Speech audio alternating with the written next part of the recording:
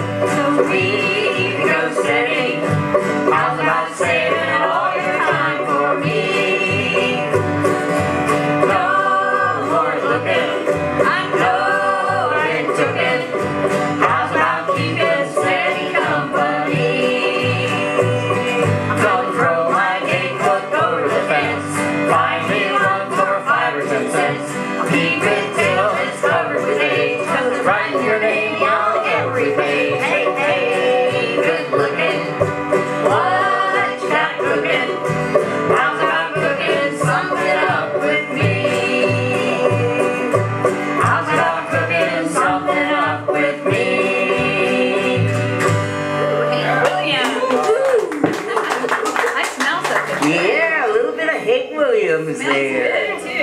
And that, my friend.